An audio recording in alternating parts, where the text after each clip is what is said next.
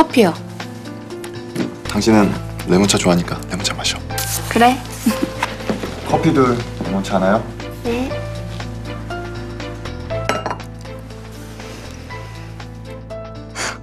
바로 그거였네.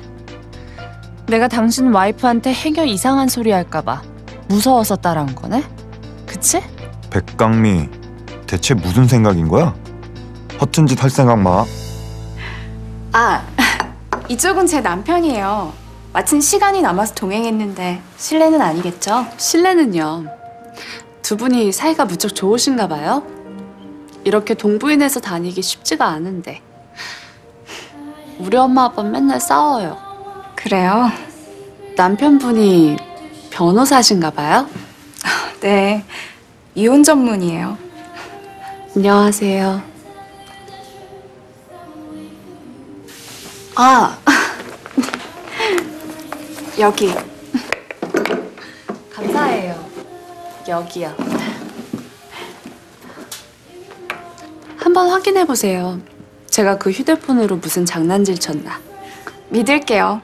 장난친 사람이 일부러 확인해 보라 그러진 않겠죠. 어머, 믿는 토끼에 발등 찍히면 어쩌시려고.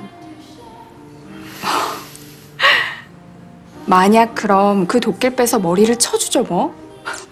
제가 성격이 못돼서 당하면 받은 대로 꼭 돌려주거든요. 무서워라.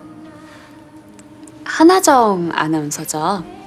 네, 그렇게 유명한 아나운서도 아닌데 알아봐 주시네요. 무슨 소리예요? 인터넷에 한하정 치면 주소부터 어제 입었던 옷, 전화번호까지 쭉 나오는데. 네?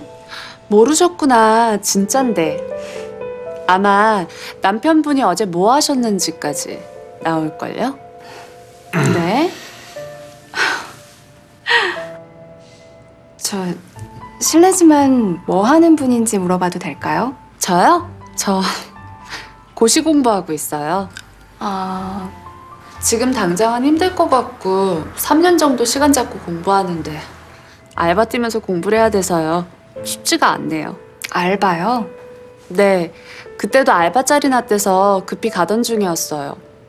좀 편하게 앉아서 짬짬이 공부도 할 수도 있는 곳이면 참 좋을 텐데. 참 언니, 사인 하나 해주실래요? 저 평소에도 언니 좋아했어요. 네. 여보, 우리 데이트하기로 했잖아. 내가 요 옆에 근사한 데 예약해놨어. 거기 가서 밥 먹자.